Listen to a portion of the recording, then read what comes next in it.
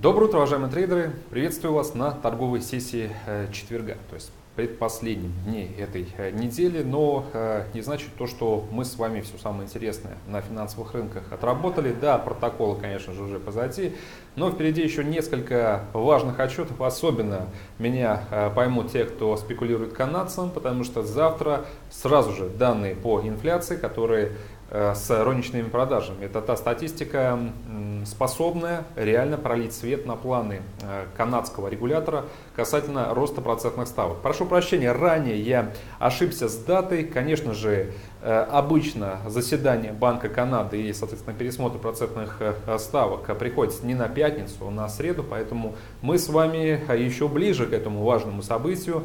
То есть заседание канадского регулятора пройдет 24 октября, не в пятницу, а в среду. В пятницу там будет другая уже статистика, но она меньше сейчас нас интересует уже, потому что сейчас лучше сфокусироваться именно на перспективах эм, повышения ставки. По данным Reuters ставку поднимут на 20 25 базисных пунктов а с текущего показателя 1,5% до 1,75%. А, вспоминая реакцию канадца на прошлые аналогичные решения, друзья, кто-то из вас, может быть, знает, кто-то отслеживает такие важные события, кто-то, может быть, не знает, но ничего страшного. Реакция, а, как правило, предполагает укрепление канадского доллара уж точно больше, чем на 100 пунктов. Были отдельные прецеденты, когда диапазон хода Э, в рамках э, одной торговой сессии после принятого решения достигал 200 пунктов. Не знаю, как в этот раз отреагирует канадец. Думаю, то, что как минимум рост мы э, получим, но, конечно же, необходимо, чтобы все-таки Банк Канады нашел основания для ужесточения монетарной политики. К повестке сегодняшнего экономического календаря отчетов будет не так уж и много. Будем следить за снова статистикой из Англии. Роничные продажи, которые выйдут в 11.30 по московскому времени. Сегодня второй день э, саммита, который посвящен Брекзиту.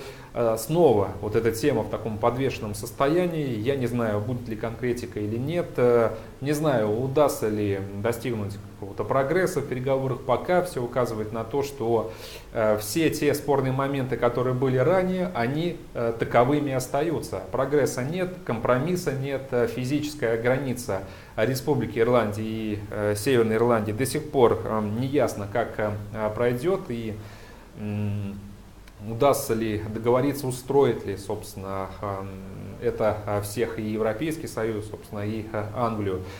И до сих пор не ясно, друзья, сможет ли Англия сохранить доступ к единому европейскому э, рынку. Поскольку э, мы все-таки говорим о таком э, тотальном политическом негативе, я надеюсь, ну, вы понимаете то, что я не придумываю это, собственно, это очевидное заявление. Если мы сейчас будем отдельно копать через комментарии представителей Европейского Союза, представителей Еврокомиссии, будем говорить о комментариях властей, э, собственно, Англии, то э, поймем, что сценарий жесткого Брекзита, он допускается сейчас э, как тот сценарий, который фактически не удастся миновать.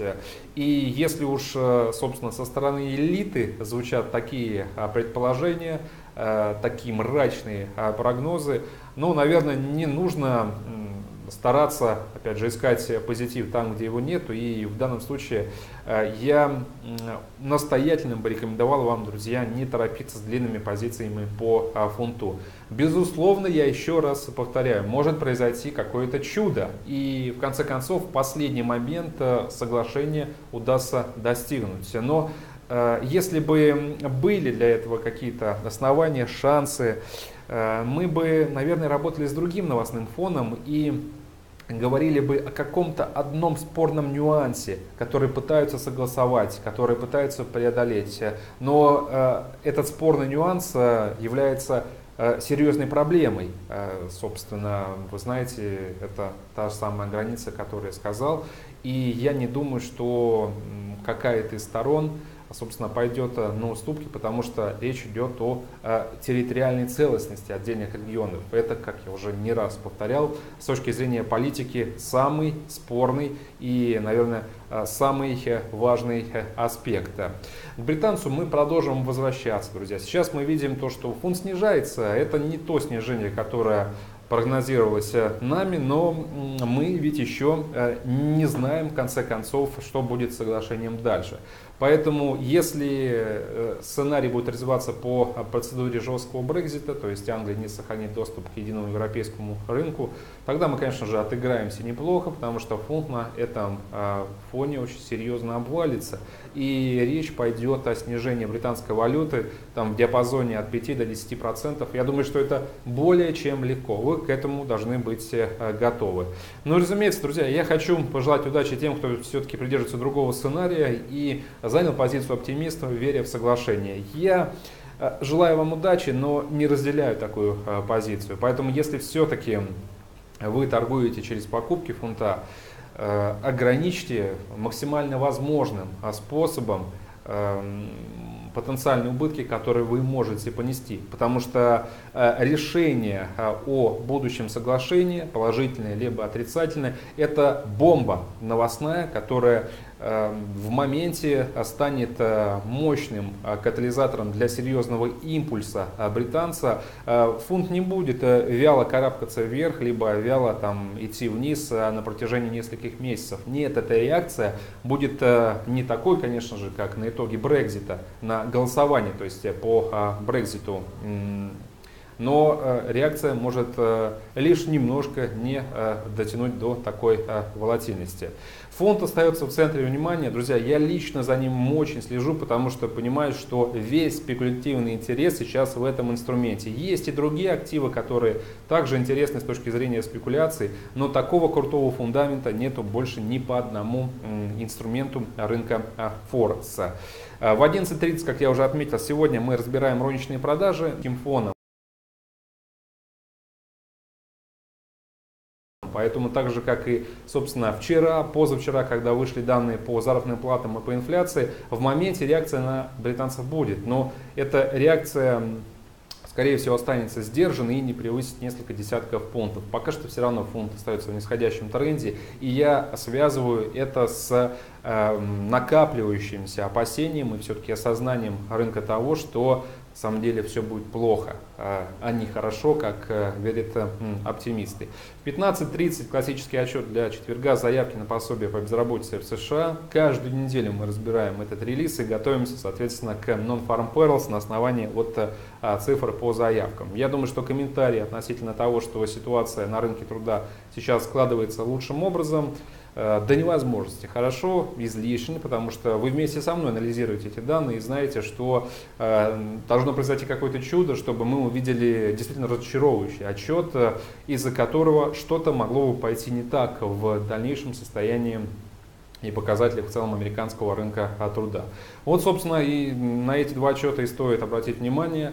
Завтра день будет поинтереснее, потому что завтра конференция Карни. Завтра у нас еще будет один прожитый день с обсуждением того, будет ли соглашение по Брекзиту э, или нет. Я надеюсь, будут и новости какие-то. И завтра у нас статистика по э, Канаде. Это вот то, что я могу прям по памяти выделить. Соответственно, если э, помониторить сейчас экономический календарь, мы это сделаем завтра, выделим какие-нибудь еще отчеты, на которые нужно будет обратить внимание.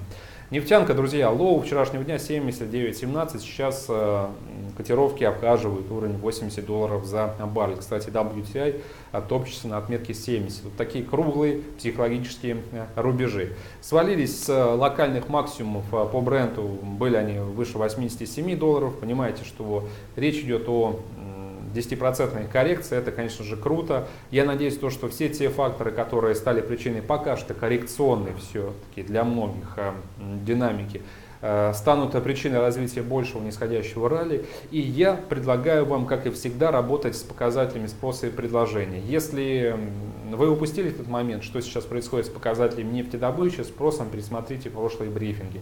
Возвращаясь, собственно, к вчерашней динамике, почему нефть Э, протестировала 80 долларов за баррель. Э, снова мы не ушли э, ниже, но я позволю себе сказать, без какого-то желания, безусловно, накаркать, что этот тест сейчас вот будет удачным.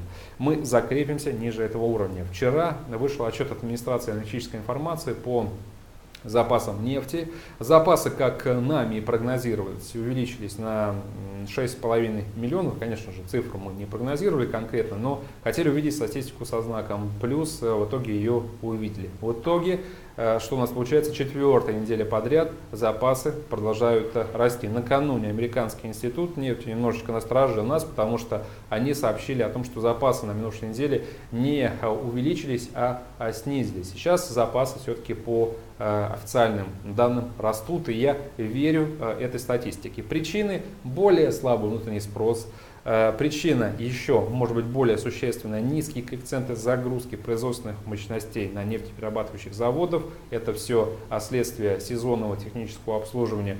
А поскольку этот период продолжается, как минимум он а, будет актуален в течение еще и ноября, это сезонное явление, Э, это нужно а, понимать, запасы, скорее всего, продолжат э, увеличиваться. Поэтому статистика, которая в моменте на рынок нефти оказывает серьезное влияние, вчера отработала, отыграла свой статус правильным образом. И в случае роста запасов мы видим, соответственно, коррекцию э, нефтянки. Также я связываю еще снижение нефти с ростом доллара, вдохновленным протоколами американского регулятора последнего заседания, в ходе которых, как тоже ожидалось, не было ни для кого сюрпризом. Американский регулятор подтвердил э, планы, намерения и обозначил эм, ожидание того, что э, в декабре ставки снова будут э, повышены.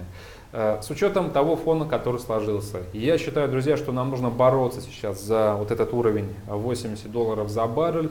Э, не нужно разворачиваться. Мы так долго ждали теста этой планки. Нужно сейчас, э, опять же, наваливаться на э, распродажи и ждать все-таки нефти ниже. Как только на рынке станет ясно, что тема с дипломатическим скандалом Саудовской Аравии и США была немного преувеличена и все-таки смогут решить этот вопрос, понятно, что не нужно будет возвращаться к угрозам Саудовской Аравии, ограничить э, сократить поставки на глобальный рынок. Помните, так э, Саудовская Аравия ответила на угрозы Трампа, э, обещавшего предпринять жесткие меры, если удастся доказать причастность королевства к исчезновению американского журналиста. В общем, действительно, фон довольно интересный, но я предлагаю несколько скажем, дистанцироваться от этих политических вопросов и все-таки зрить в корень это на статистику по запасам, на доклады ОПЕК, доклады Международного энергетического агентства, на то, сколько нефти добывается странами ОПЕК+, где еще и Россия, э, как это отразится на общем предложении и стоит ли Иран по-прежнему считать угрозу для глобального предложения. Я э, уверен, друзья, что те из вас, кто регулярно присутствуют на брифингах, знают то, что нефть мы анализируем э, очень детально, тщательно, и любой из вас, э, кто присутствует на брифингах, легко сможет ответить на все вопросы, которые я только что задал. По нефти остается позиция короткая, ждем движения ниже 80 долларов за баррель. Рубль 65.50, сегодня с открытий, конечно же, на фоне снижения цен на нефть, мы ожидаем давления на рубль и я не сомневаюсь, то, что завтра мы будем констатировать котировки снова выше 66. Это логичное следствие на рубль по-прежнему оказывает влияние то, что происходит на рынке нефти. Доллар-иена. Очень тревожно мы начинали вчерашнюю торговую сессию. Минимум э, low даже дня составил там в районе 112. Распродажи были. Э, соответственно, на азиатской сессии вчера доллар не торопился расти и Э, Все это было связано с очередной критикой Трампа, с которой он обрушился на американский регулятор, обвинив ФРС в том, что именно американский регулятор со своей политикой является главной угрозой сейчас для американской э, экономики. Но очень быстро как-то рынок эту тему переварил, потому что не раз уже Трамп высказывался в подобном ключе, и потом его э, советники работали над ошибками с прессой, отмечая, что нет, ни в коем случае Трамп не вмешивается в политику, не критикует, и ФРСу виднее, как и что нужно делать с учетом того, прогресса, который э, достигнут э, сейчас в, рамке американской, в рамках американской экономики. Э, поэтому от этой темы рынок очень быстро отказался и стал ожидать уже, собственно, протоколы, как это делали и мы, друзья. И протоколы не разочаровали. Риски сбалансированы, ставку повысим в декабре и будем разгонять ставку по федеральному фондированию. Э, ключевую процентную ставку Федрезерва много раз и в 2019 году. Это вот так крупными мазками то, что мы услышали от протоколов. Соответственно, подтвержденные намерения стали причиной роста. Трежерис, десятилетние облигации, снова ушли к отметке 3,2%. И посмотрите, как на это отреагировал американский фондовый рынок. Он снова оказался под давлением. Напоминаю, что трежерис влияют на показатели э, американского фондового э, рынка, потому что с, каждым, скажем, с каждой новой волной роста доходности казначейских облигаций резко снижается спрос на рисковые инструменты, потому что ну, здесь идет конкуренция по доходности. И я считаю, друзья, что после вчерашних протоколов э, мы смело можем говорить о том, что десятилетки пробьют планку скоро 3,25%, а потом 3,3% и будут карабкаться еще выше. Соответственно, наше ожидание, потому что американский фондовый рынок, э, скажем, сделал только один шаг э, в сторону довольно большой дистанции, которую ему предстоит преодолеть, это шаг в сторону снижения. С учетом такого подхода и такого фундамента эти ожидания оправданы. Американский фондовый рынок уверен, просядет еще сильнее, нужно быть к этому э, готовыми.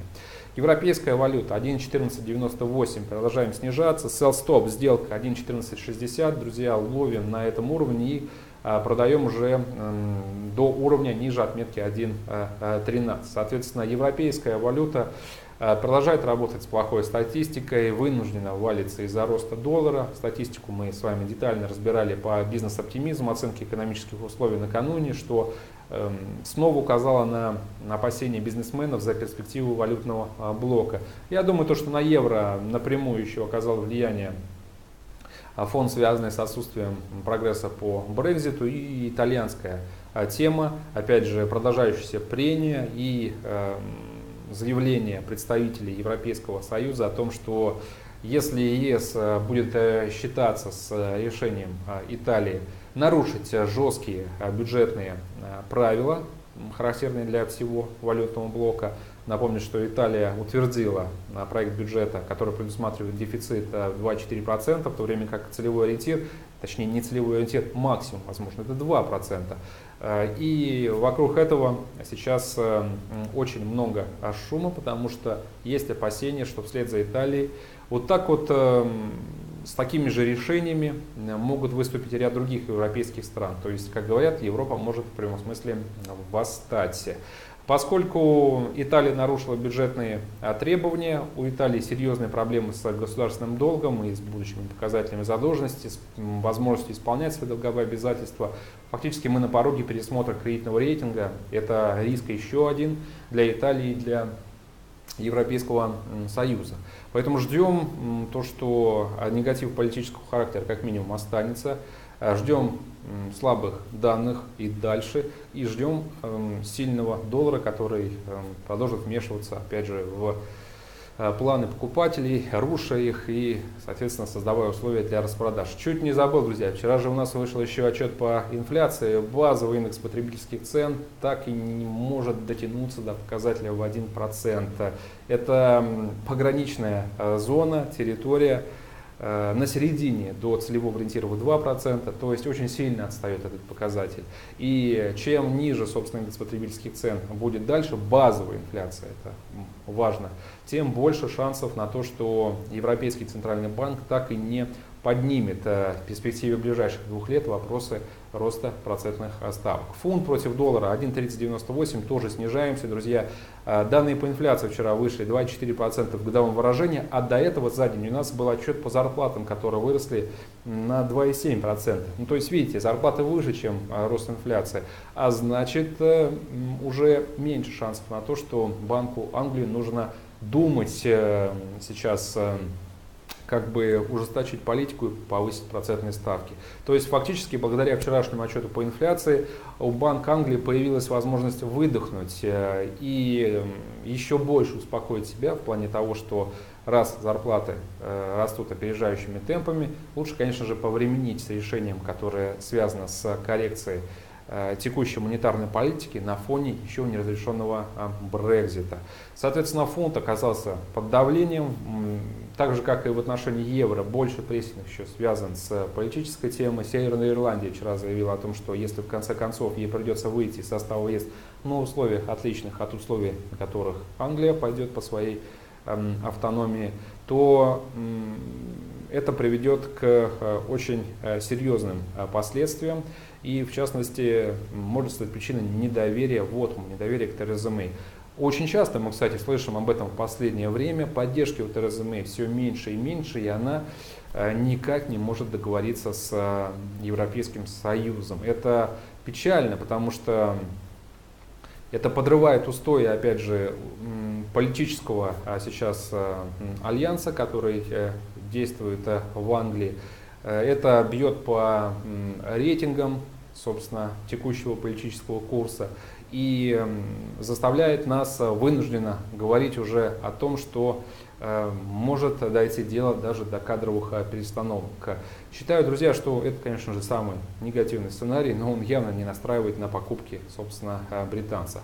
Австралиец. Сегодня вышел отчет по занятости, хуже, чем в прошлый раз, однако не очень-то снижается быстро. Австралиец 0,7130, я уже друзья, честно говоря, устал говорить про этот э, инструмент, потому что ситуация в целом не меняется. С вашего позволения я все-таки на какое-то время исключу его из нашего брифинга, потому что одно и то же. И давайте не будем к нему возвращаться. Если вас интересует, как я поступлю с этой валютной пары, да просто закрою позицию и все. Даже несмотря на то, что мы так и не достигли до уровня 0,70. Новозеландец против доллара 0,6550. Еще одна возможность купить тем, кто раньше не купил. Мы протестировали планку 0,6550 и ждем 0,67. Э, напоминаю, что опираемся мы на очень сильный отчет э, по инфляции, который может несколько изменить риторику Резервного банка Новой Зеландии. Следующее заседание Резервного банка Новой Зеландии состоится вот уже через, собственно, э, неделю. Американский фондовый рынок 25 600 пунктов, это индекс Dow, USA 30 в терминалах AMarkets. Э, еще раз повторюсь, что на фоне такого роста доходности трэжи, жестких э, протоколов, у американской фонды, на мой взгляд, только одна дорога вниз. Ждем USA 30 на отметке 25 тысяч пунктов ровно. Доллар канадец тоже уже в двух словах сказал. Ожидаем мы сначала завтра сильные релизы по инфляции, которые еще больше повысят вероятность э, роста ставок э, в среду.